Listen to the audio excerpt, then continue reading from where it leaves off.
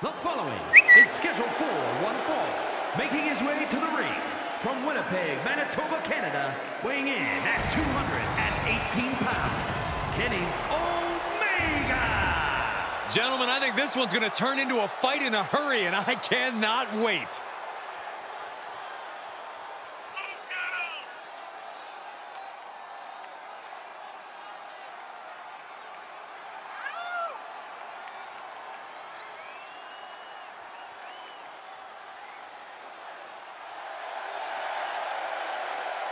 Well, he acknowledged the tribal chief first. Now he attempts to do what few have done. Good luck. He's going to need it.